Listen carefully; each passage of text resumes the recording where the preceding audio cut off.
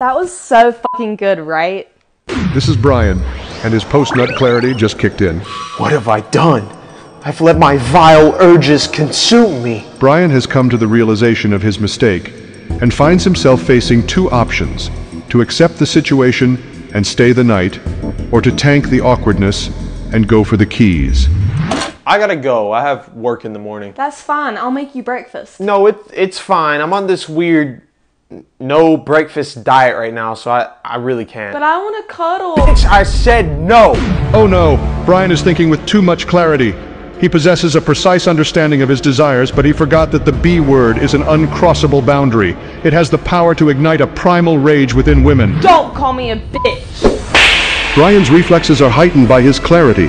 Physical attacks against him are useless. Listen to me very carefully. You're gonna take one of these, and I'm gonna walk out of that door. And may God help anyone